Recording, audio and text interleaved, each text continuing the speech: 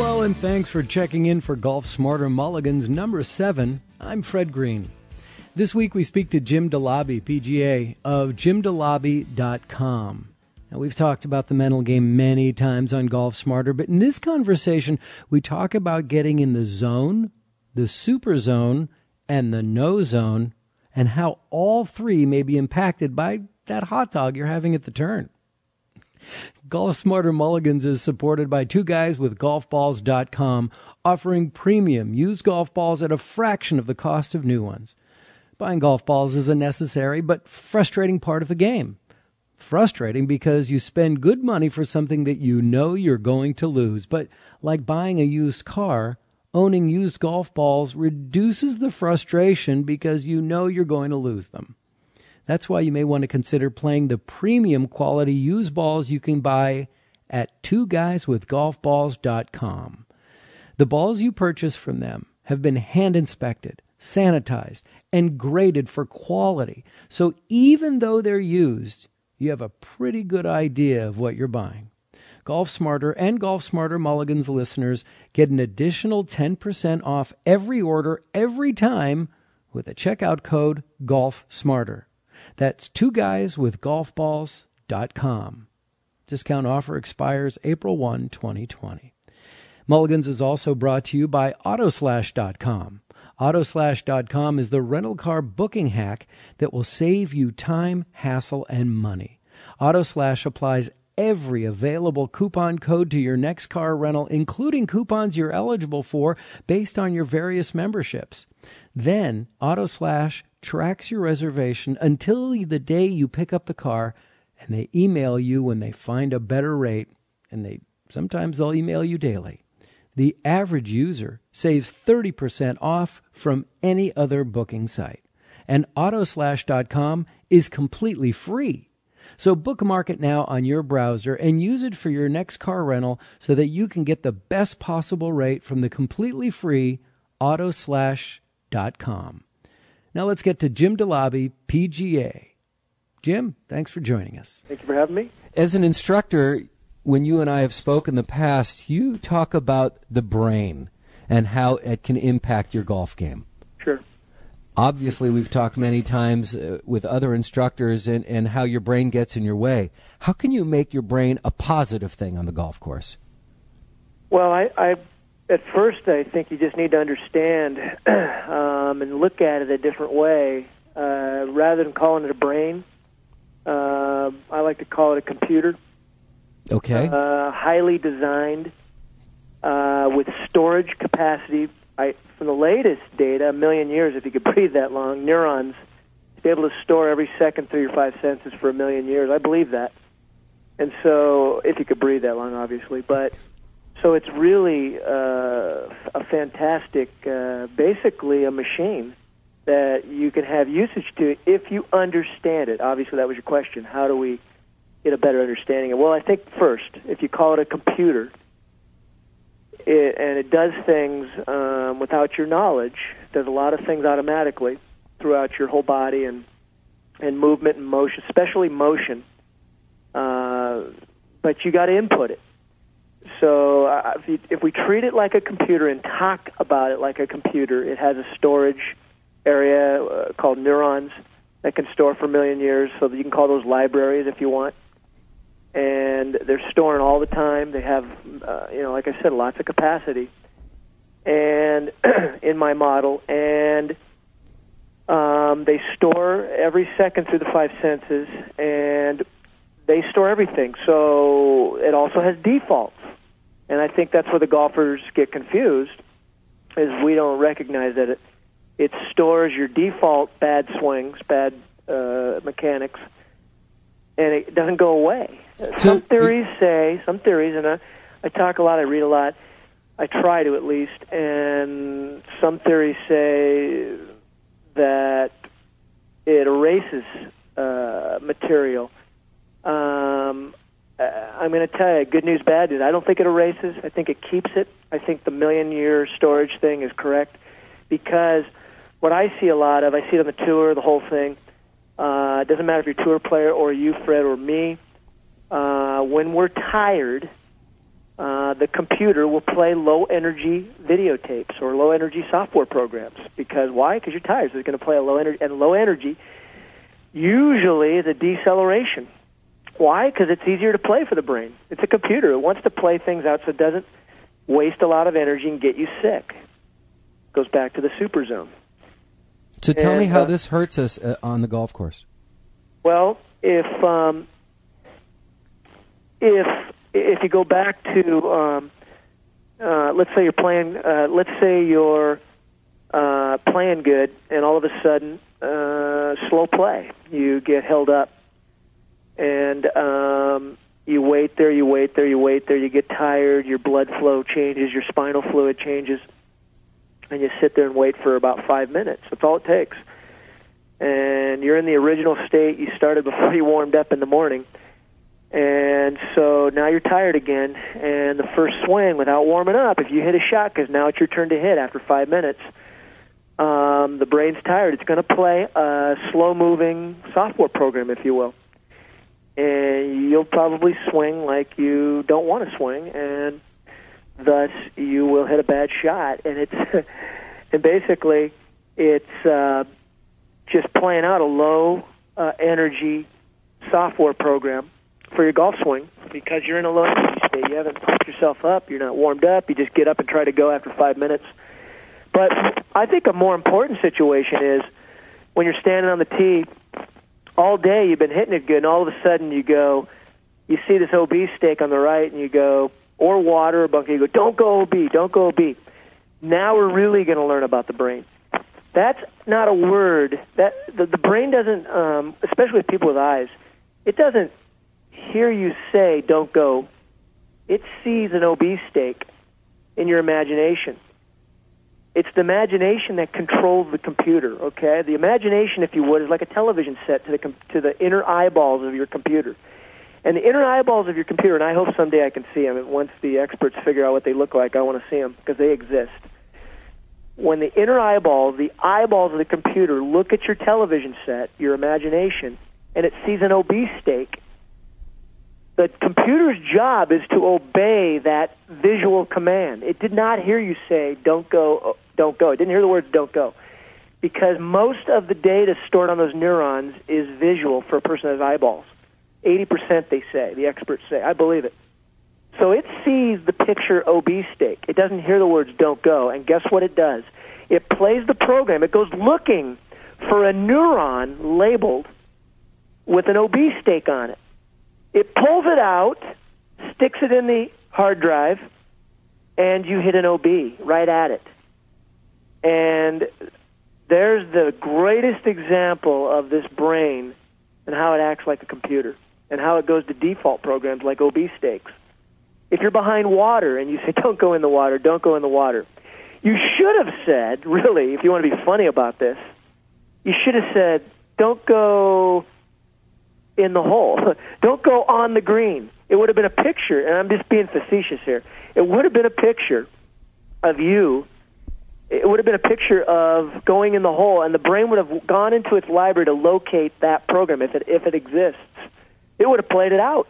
I'm being really facetious here, but that's really what's going on inside your brain. It's continually, the inner eyeballs of your computer is continually looking for visual pictures that you give it when you're consciously thinking about things in your television set, which is the imagination area of your, uh, that you control.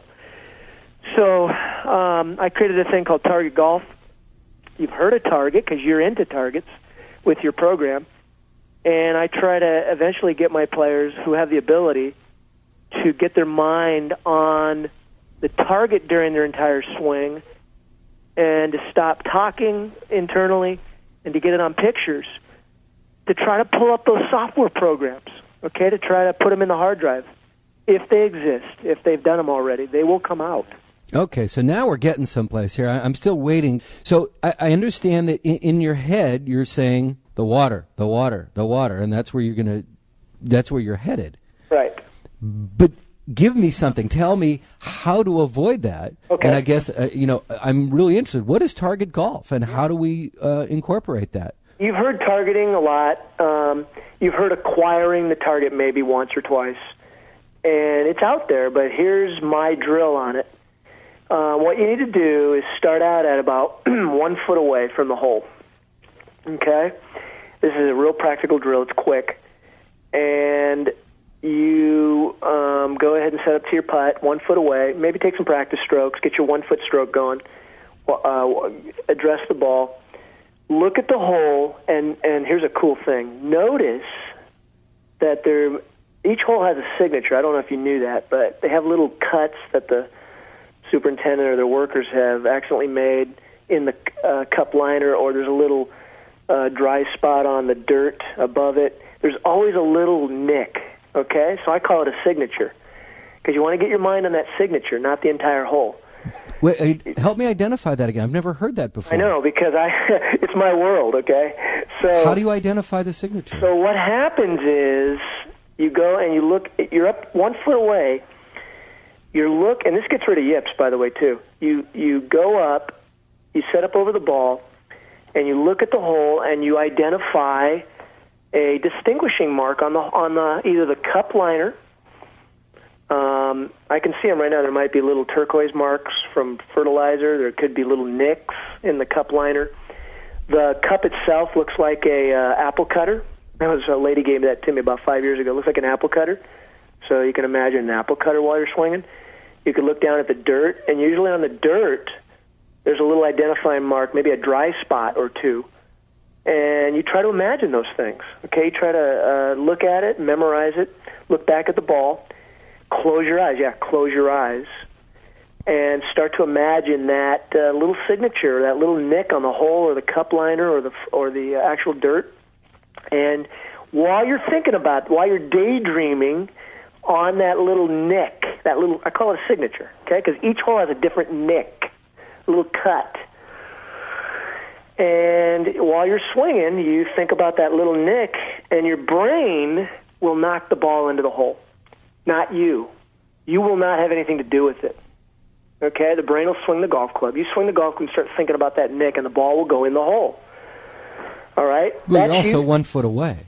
Yes, I agree. I have, I have guys that play whole rounds out this way, blind, just to prove it out. You don't have to, but I'm just letting you know that it works. And the blind play this game great because they use sound waves, okay? Because they can hear where the bottom of the club is. Oh, you you literally mean blind? You're blind. To, to understand target golf, you have to go blind because your eyeballs, when they're open, too much stimulation at the beginning.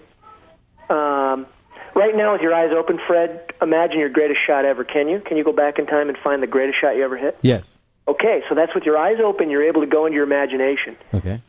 But when you're over a one foot putt or a, a hundred yard shot or a drive, and you're trying to think about, trying to imagine this target that's way down there or one foot away, so it's very difficult to use your imagination when you're over the ball, looking at the ball, and you probably got your mind on lots of things. The grip today, you know, you told me about your grip that you're working on.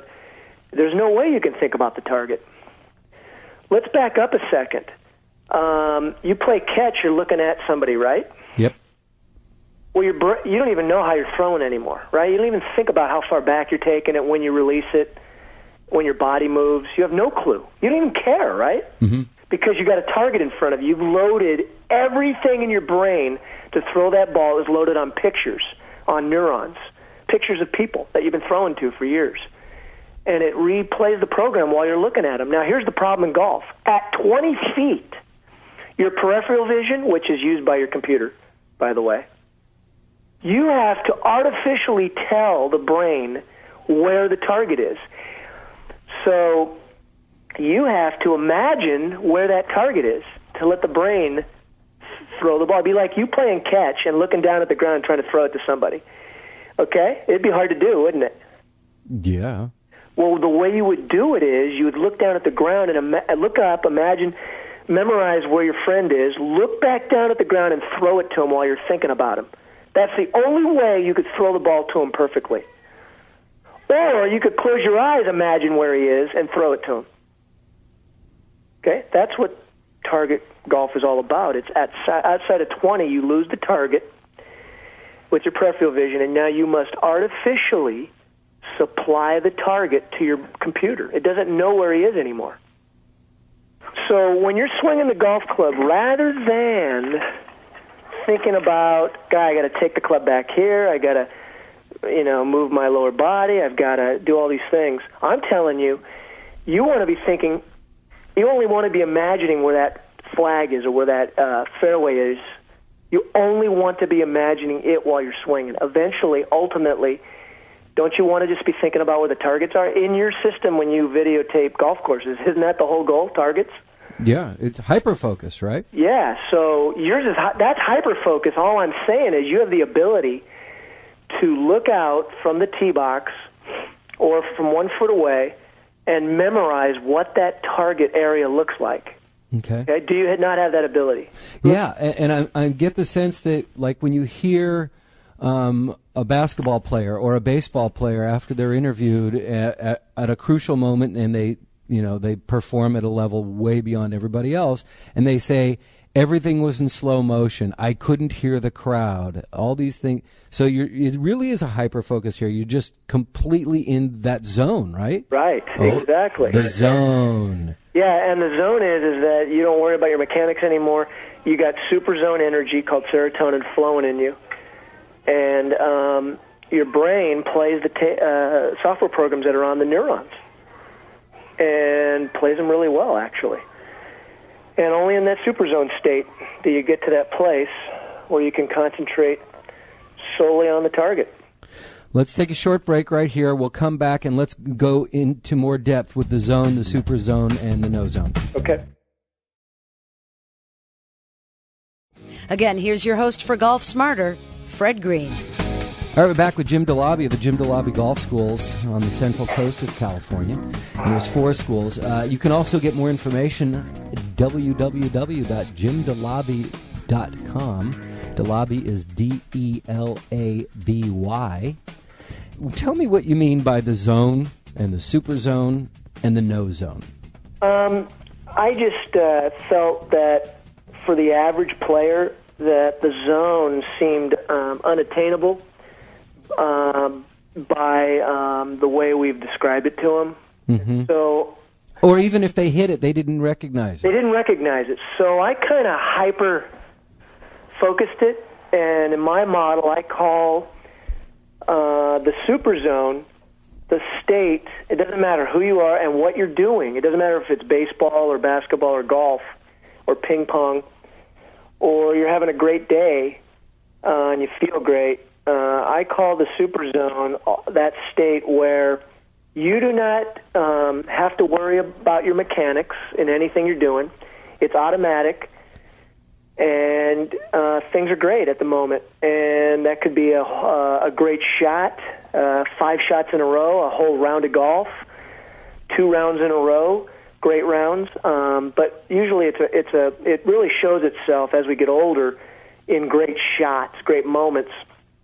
So the super zone is when um, you're at a high, your highest energy state, and I, in my model, it's serotonin's flowing at high levels. So you have high levels of serotonin which is a neurotransmitter, and you can do no wrong. And um, the no zone, so I redefined it just so it, it, it makes sense. And the no zone, probably first to me, and the no zone is the state at where you can do nothing right. You have no energy. Uh, your brain, which is a computer, is playing low energy default tapes software programs, and um, you're hooking, slicing, topping, chunking. And every golfer can relate to this. And every basketball can relate to it, and every baseball player, and everybody, because every day you have. Ba- I mean, there's days when you have bad days. You just don't feel good. So um, you have low energy days, and you have high energy days. You have high energy shots, you have low energy shots, and then the zone is you performing your skill um, that you have in your um, stored in your brain at a normal level with normal energy. Uh, so uh, a toe shot down the middle would be the zone where it goes down the middle and you don't know why it, you towed it for some reason at impact and the ball goes down the middle. A heel down the middle is the zone. Um, the brain actually purposely uh, countered at the top of your backswing a mistake you made at address, and it, it healed it to get it down the middle, or it towed it to get it down the middle, or it hit it pure, but it hit a little right, or it hit it pure, it hit a little left. And I call that the zone uh, because that's still you performing your um, normal skills at a normal energy level. But the super zone is the same exact skill with serotonin, a neurotransmitter, added to the equation. That's all it is. Okay? So if you could just wait for this stuff to um, be used by your brain, serotonin, and you didn't change your thoughts on, on your mechanics or anything, you just kept playing at a mediocre level, all of a sudden you'll see, and it has happened to you, sometimes on the third hole, sometimes on the sixth hole, sometimes on the ninth hole, sometimes on the tenth hole, sometimes on the seventeenth, sometimes on the first. It can come at any time. It just depends on how healthy you are. And when it comes, you can do no wrong, and then it goes away. The super zone, that is. Is there something that we can do before we start around? Yes, there's some practical things in it. And, and let me just um, make the statement first about the super zone so it makes sense. Okay, but we're going to come back to. I want. To drill. I want to. I want Yeah. something. Come back to the drill right now. Okay. Understand that it exists. It does exist. Understand it, what it is. It's just basically a high energy state. That's all it is. And I believe it's serotonin.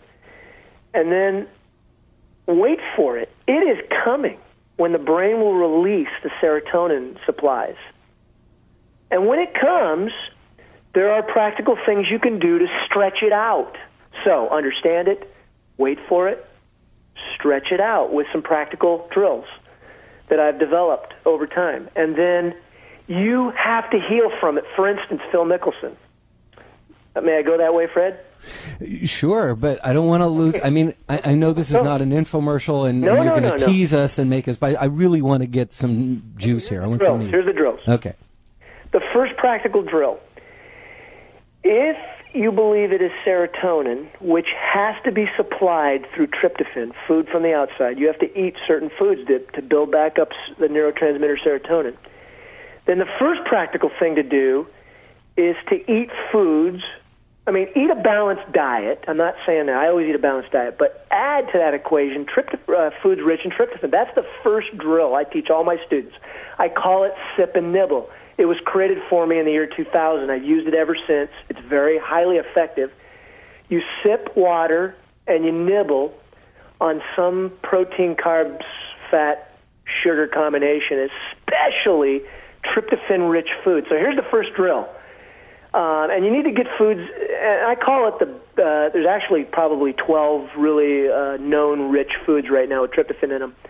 But here's the big eight that I use heavily, um, and I have an acronym for them. But I'll just give you a quickie. Uh, peanut butter. So get peanut butter if you if you like peanut butter. Get peanut butter in that uh, sip and nibble diet. We like to have our students sipping and nibbling between every shot, so they keep resupplying the serotonin levels. So peanut butter's uh, one if you want, and some combo here when I start talking. Peanuts is another one. And a lot of people are allergic to peanut, or some people are, so that that wouldn't be a good thing for them. Right. But peanut butter, peanuts, Mm-hmm. almonds are really high in tryptophan. Uh, cottage cheese. I don't like cottage cheese. It's not in my uh, diet. It's not my sip and nibble diet.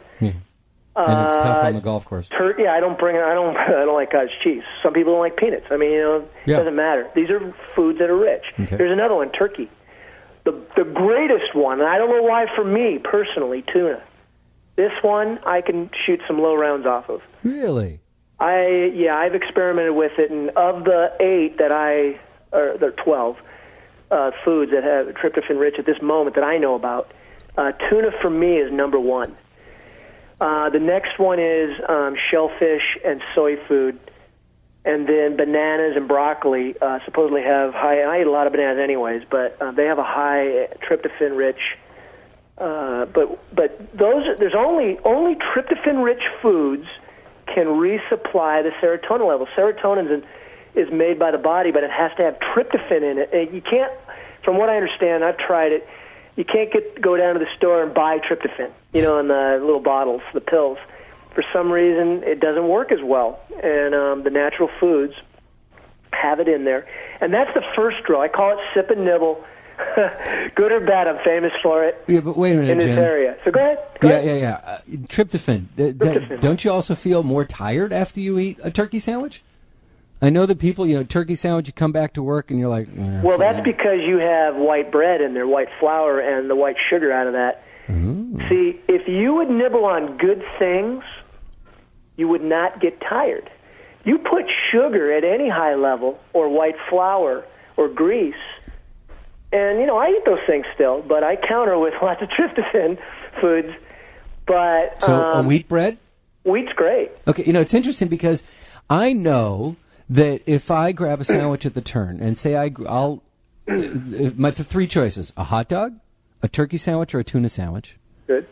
Um, I'll, I'll first go for a tuna sandwich. Second, I'll go for a turkey sandwich, and sometimes I'll have a hot dog. I love hot dogs. Yeah.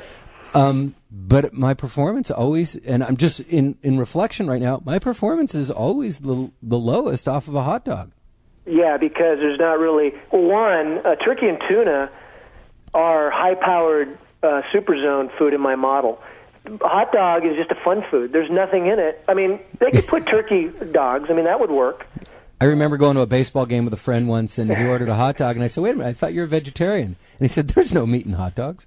that's funny.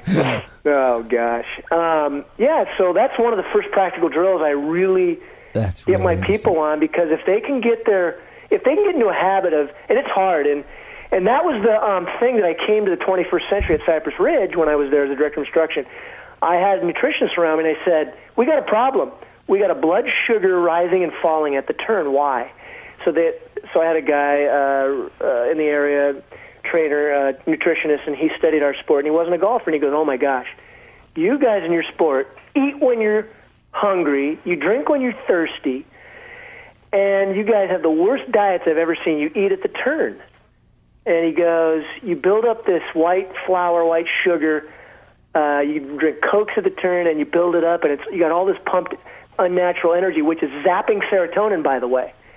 Zaps all your good stuff. So for two holes, you play well, and then it then you have no, no serotonin left, so you drop at low levels. All the blood drops, everything, and then you play bad. Of course, you're going to play bad. And he goes, Jim, you need to sip and nibble protein, carbs, fat, sugar, water between every shot. I said, what?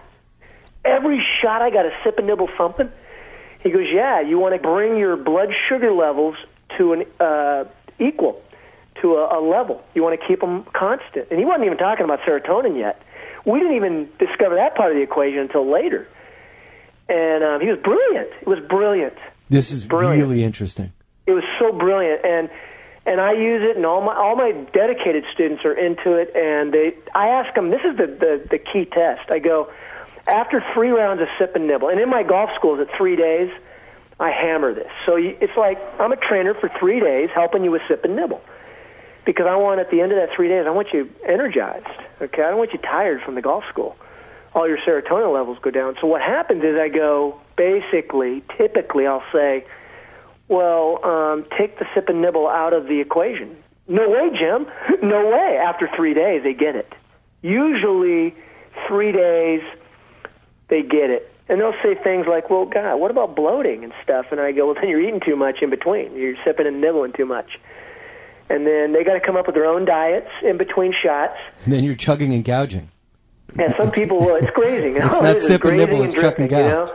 And it's at your brain, and the brain knows how much to take in. It knows how much serotonin and energy it used to hit that last shot. It knows. You don't. You don't know. You can't regulate it. It knows exactly the amount of water it just used to hit that great shot. It knows how much serotonin. It knows how many cells moved. It has it all tracked. You don't know, so that's why you've got to do something to counter this energy loss after every shot. Now, here's another practical thing. Second practical thing. Um, most so in my theory, if you've already hit good shots and you already have the mechanics and you already know how to hit a shot, but you can't repeat it, then that means that you're probably at a low energy state. Let's say that you came in the morning to hit. Do you always hit range balls before you play, Fred? Try to. Yeah. So, how many range balls do you hit? I try to do a small bucket. Okay, here's the practicalness of sip and nibble. Do you ever think about replenishing what you lost on the driving range? No. Of course not. We, we're not taught that way. So my students, some of them don't even hit range balls. They just, I have a warm up system. Okay, why? Because every time you hit a great range ball, you zap high levels of serotonin. Hmm. Why do you think you hit it great? There's only one reason. It's from high energy. Because you're hitting it off of plastic. yeah, the pla- you're eating the plastic. No, it's about your serotonin. So let's say you hit 40 great shots on the range, which mo- some people do, you know, and they get to the first tee and they don't have any, they can't hit the ball anymore. Yeah. Of course not. You didn't lose your skill. It's still on a neuron stored in your computer. You lost your energy on that driving range. So all I'm saying is go ahead and hit range balls before you warm up. But your goal is to replenish between the range and the first tee is to replenish what you lost. And you lost a lot of energy. You better sip and nibble till you get to that first tee. And so those are two practical things of how to stay in the super zone. I know it seems like, God, that's not very much, Jim, but it is the whole foundation of how we feel every day. Don't you agree? How we, I mean, how we feel in the morning makes or breaks our days. So how you feel energy-wise will make or break your golf round. Unbelievable. So let's just talk about uh, a handful of peanuts in between each shot. Uh, You see guys do and women do different things. two I, peanuts, some, some put a peanut bunch butter of on nuts a piece of together. celery. Yeah, put peanuts and almonds together and other walnuts because those are those have different kinds of good oils in them. so is trail mix a good Trail thing? mix is a great thing. Okay. Um, there's some. Uh, I like uh, Clif bars. They ha- even though it's artificial, that's an al- alternative way to do it. The bars, if you can find a good bar Yeah, that you like. gassy on those things. Um, some people like to do it that way. I, I do it. That's an emergency way. If I don't have anything, I'll use a, a, a Clif bar or a Balance bar or one of the bars that are good on the market, and that's a good way to do it. I'll bring in my um, typical round of golf for me. It's a custom fit for me, and I and I say that you got to do the foods you like. Um, I'll do uh, my best when I want to play my best. I'll have um, usually, if I can get it and prepare it the night before, I'll have uh, a sandwich for me. I need a, a tuna sandwich per nine, and I need about on a normal 90 degree, 85 degree temperature. I need about two bottles of water per nine. Jim, what about Gatorade? I love having Gatorade when it's really hot outside. Gatorade's great, but it has sugar in it. So Okay. the problem with Gatorade is, and I like Gatorade too, is that you better sip it, not guzzle it, and you better sip it the entire nine. It better not go away mm. because it, it'll be a blood sugar problem again, and it'll ruin your super zone for sure. You might come up just like the sandwich. Sugar is the danger of the whole thing. Just like the sandwich, if you get too high sugar levels, you'll pull sugar pulls serotonin out. So that's why you feel so good. The serotonin's flowing. And so it'll pull the serotonin. You'll feel good for a little while, and it zaps it all, and then you go to sleep. So so will Gatorade if you drink the whole bottle. Um, it might replenish the potassium and all that, but it has sugar. It has an opposite. It has sugar in there. So I when I drink the uh, Gatorade, I make sure I drink it. I sip it between shots, and don't guzzle it. I'd rather guzzle water down because it has no sugar in it. It can't affect me unless I bloat. It can't affect me uh, blood sugar wise, and it can't zap the uh, serotonin. So I would rather have Gatorade in the cart or when I'm walking, plus a bottle of water.